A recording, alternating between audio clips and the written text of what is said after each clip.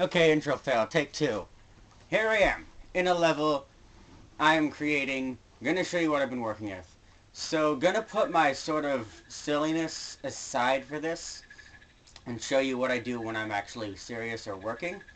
So, before this level that I am showing you here, I had uh, Neon Platformer, which is a level I worked my freaking bones out to make every time I was on a Little Planet, I instantly shot myself to the level to work on it until I was either exhausted or bored with it and decided to do something else. And even after I published it, there was still a lot to be fixed, and now there's very few problems with it, even the blah blah blah blah blah. So, after that, I decided I was kind of done because my work usually doesn't get much ratings or notices or recognition or anything. So for this next level, I actually really wanted to put out, and is going great so far.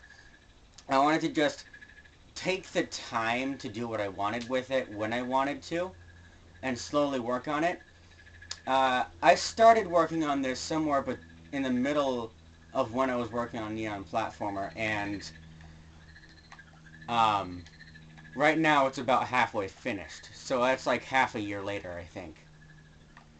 I could look back at Neon Platform and look at when it was published, but I don't think I'd I could. I might remember when I started working on it. So this level I kind of don't want to give too much away because it's a secret level I'm kind of resorting to. I'm not going to give away the name, the description. I could give away a couple of the basic ideas of it, and from one year, me flying around and looking at it, I think you can get a basic idea of some of the things it is. Black background rooms with the same materials, mostly. Limited what is in it, such as materials and stickers and a few other things. A couple of these things are going to be erased because I had to put them here to get the general idea of where this is also a maze, sort of. I'll tell you that. Um, that. So I had to put all these arrows here to show myself what room uh, connects to what, and to sort of see how the level progresses um, from start to end. And since this is a puzzle maze, the start, um, compared to the start, the end is going to be real hard. So right here you have some platforming stuff. You get the general idea of what's going on. And you look at these, you're like, what do I do here? So, unpause. You get the triangle, you go through one of the portals, and you end up in another room, and from that you have to get from the yellow to the blue. And you can see the numbers here, and as the numbers go up, I need to shut that up. Hang on. It's a bit loud for me. Kind of want to focus.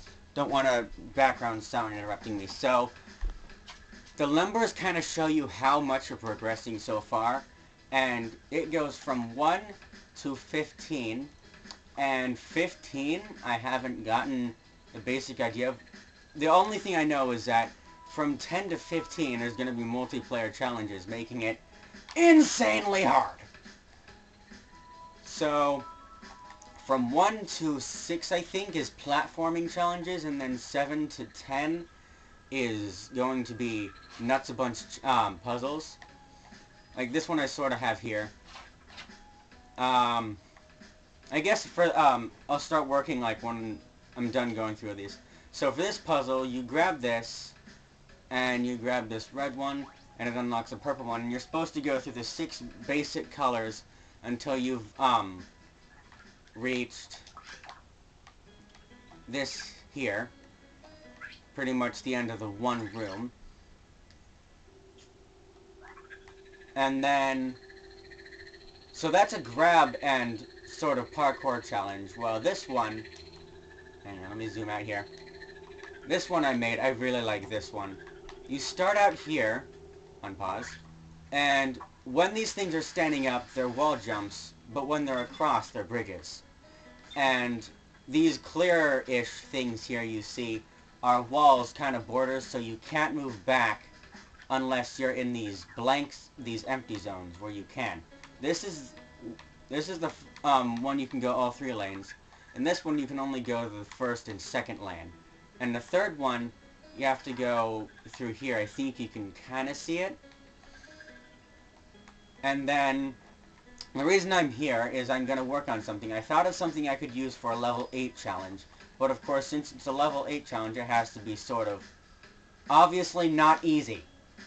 So, basic idea I'm going to do here.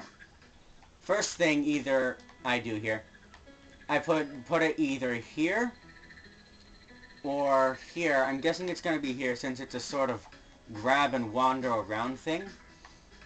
So, I guess this is now where I'm going to start building. Go to the star page and grab the material I need. Basic thing I want is, oops, grid. Always have the grid on, that way I know it's uh, prone to work. Another thing I do is set it to medium or large. I had the room set up with a specific grid so that it can be symmetrical in sort of ways. So this is, I think, by 12 by something. 1, 2, 3, 4, 5, 6, 7, 8, 9, 10, 11, 12, 13, 14. By 1, 2, 3, 4, 5, 6, 7, 8. 14 by 8. So 1, 2, 3, 4. This. And then go like this. Oops. I can't edit the walls or background for this. Okay, so it looks like the these yellow things are where you're going to start, meaning from two points you're going to end up in here. And then this looks like the middle, so I'll put it here. Unpause. I want this to be a non-pause needed level. Okay, so do that, and then... Why did that happen? I'm gonna not question it. It's supposed to be on... Why is it doing that? Supposed to be on the grid. It's not supposed to be connecting these squares if it's on the grid. Anyway. Maybe if I just do this and then blah, blah, blah, blah, blah, blah. Okay. There it is. So this is the first room on the setting to put um, enemy brains in, which I'm going to go to the gadgets page and grab myself a little creature brain. But before I do that, I'm going to get a magic eye and just stick it here. So I'm going to work on the details, awesomeness of this level when the level is finished, because I want to make sure the meter right there on the left isn't filled up too high. I want this to be able to be played in fourth pl um, four players. The last level I made, I wanted it to intend it for multiplayer, but it was still quite filled up. Not to the point of it telling me, uh, you need to um, get rid of some stuff because your level is overheating, but just enough so that if you're playing in multiplayer, the level kind of bugs out a bit. This one, I'm going to have it limit to, going to put my finger here, I want it to be sort of here.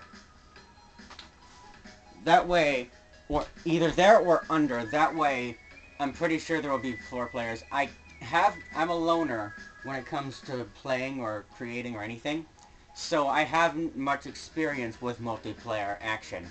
So making a multiplayer level wouldn't be that easy for me. So now that we've got the eye there, I'm going to set it to...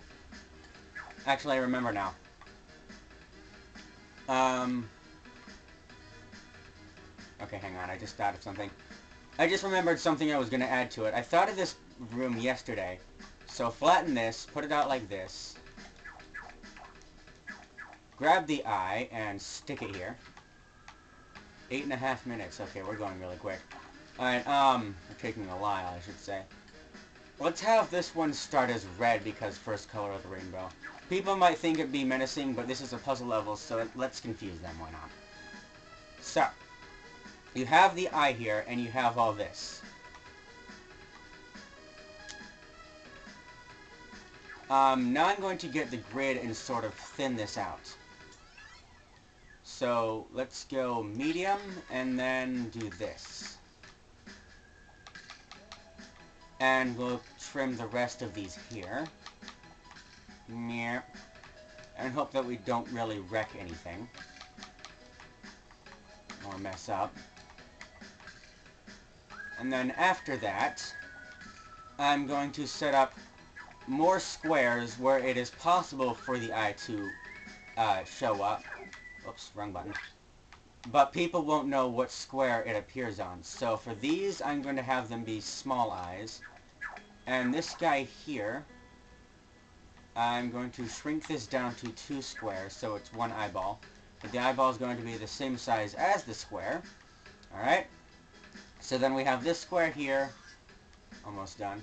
Let me cut the video here and then continue.